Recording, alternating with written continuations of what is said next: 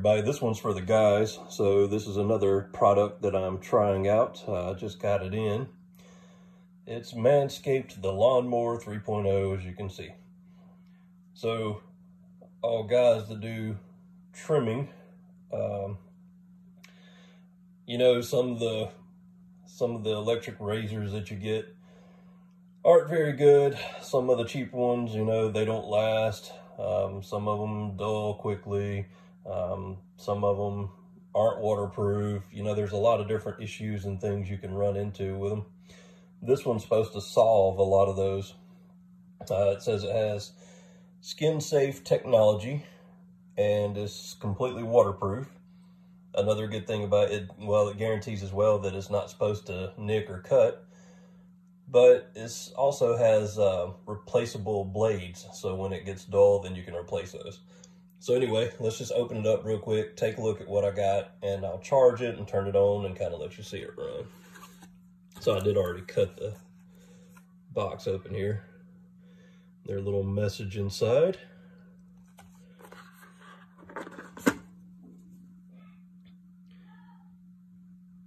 It's uh pretty small, I guess. Nice kind of grip size and all. Looks pretty neat, got a guard on it. So it looks like it might be, you know, it's pretty nice design, like grip-wise and all. We'll see how it works out. So charging port on the bottom, just let you get a good look at it. I guess this guard, yeah, it looks like it pops off. And then take a look at the charger, see what else comes in here. It's packaged really well. And I guess for the price tag, it should be. I'm wanting to say this guy was, I think it was 80 bucks. But just so you can take a look uh, kind of at the instructions there.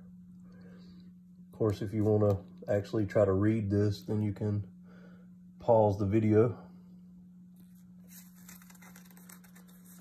Oh, other way.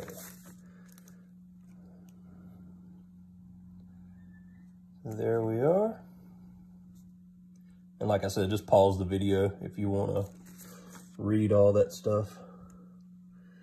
Tells you how to, I guess, adjust it. Skin safe blade replacement. Sorry about the light. How to clean it.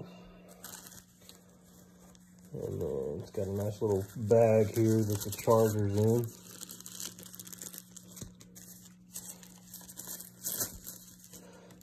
Kind of a little dock here for it.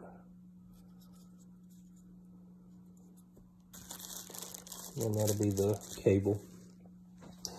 So I'll get it charged up and then uh, then I'll turn it on and at least you can kind of hear it uh, run. Some of these things are really loud. We'll see if it's quiet or loud.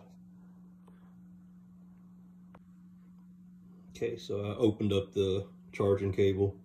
Um, like everything's going USB, which it doesn't come with the actual like power brick adapter itself. So you'll have to provide that. Then add a little cleaning brush in there with it. Okay, so the instructions for it basically say that you uh, let it charge for three hours. Uh, so let's turn it on and see what it sounds like. Has an LED light so you can kind of see what you're doing.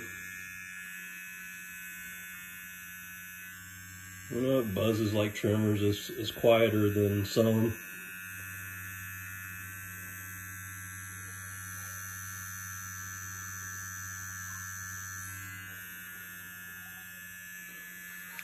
But overall, I mean, my just first opinions of it, it, it feels like a, a good quality product. Um, some of them are plastic cases and, and really cheaply made. Um, like I said, I've had several of them, whether it be uh, Philips uh, or uh, various other brands. Um, some of them feel really cheap, some of them don't last, some of them break, the batteries wear down quick, they dull quick, you know, different scenarios. So we'll see how this one uh, holds up, but I just wanted to put this video together so uh, anybody thinking about getting one can see how it's packaged and kind of take a look at it. Uh, and maybe, you know, help in your decision in getting it. Um, only time will tell, like as far as the durability and how it holds up. But, you know, after I use it for a while, then uh, I'll try to do an update video and let you know how it's working out. Thanks for watching.